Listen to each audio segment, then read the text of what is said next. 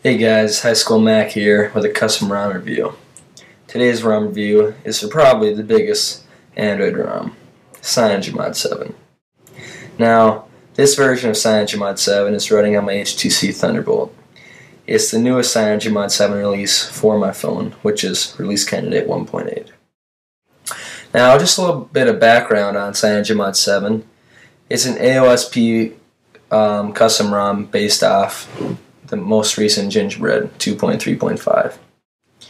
Now, CyanogenMod 7 is the most widely used ROM, and it is used on more rooted Android phones than any other ROM out there.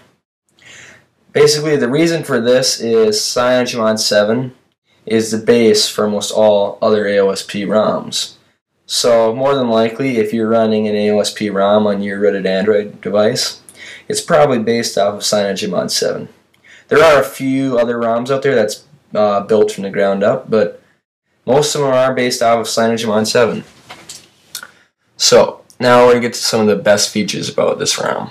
Number one being it's running the newest version of Gingerbread, which is 2.3.5. I'll just show you guys that quick. And Android 2.3.5. Okay. Um, the next thing about this ROM is it's very fast and it's very stable.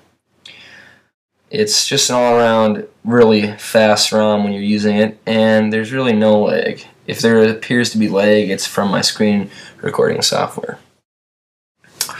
Um, the next thing that I like about this ROM so much is that the data is really stable. That's a little more um, specific to my phone because uh, the HTC Thunderbolt is a LTE phone, and there has been a lot of data problems with it. And when I'm running CyanogenMod 7, I have basically the most stable data out of any other ROMs I've ran. Um, also, you see that CyanogenMod 7 is very themed. There's tons of customizations for it you can do um, through the theme engine or through flashable zips. And all um, I'll uh, post a link to um, a web page where you can get a bunch of um, themes. Next, I'm going to show you some of CyanogenMod 7's built-in tweaks. So it's just in settings and right here, CyanogenMod settings. So some of the nicest ones are that I use the most are under interface and it'd be notification power widgets. You can see them up here, it's in the status bar. I have those customized and you can just um, customize them, whichever ones you want, and there's other options for that here. And you may be thinking, oh, I've seen these settings on other AOSP ROMs, and that's more than likely because they're based off of CyanogenMod 7. And so some of these other tweaks we see here that I use a lot are the lock screen tweaks because I like to have my lock screen customized. And right now I'm running the newer lock screen, which is the ring one. And here, I'll show you that right now.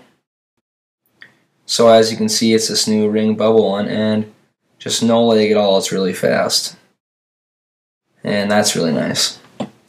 So,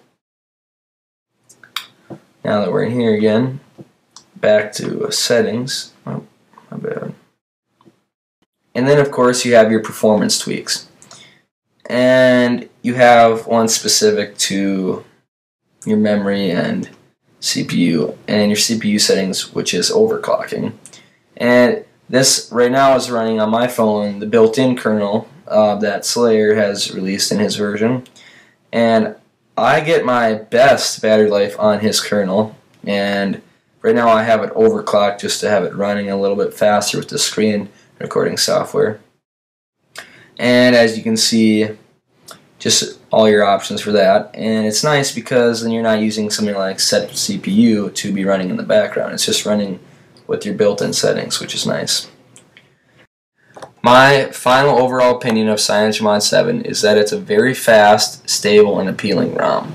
And I suggest all of you go and try it, whether you have a Thunderbolt like me or another Android device. It's a great ROM.